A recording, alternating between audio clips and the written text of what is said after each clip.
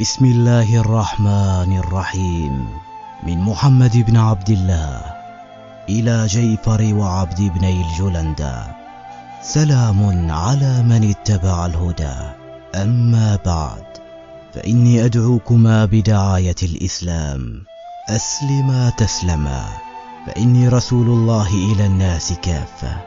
لأنذر من كان حيا ويحق القول على الكافرين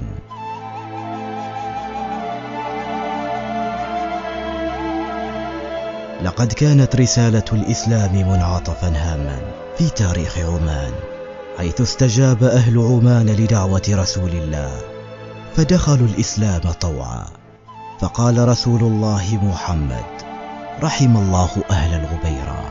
آمنوا بي ولم يروني.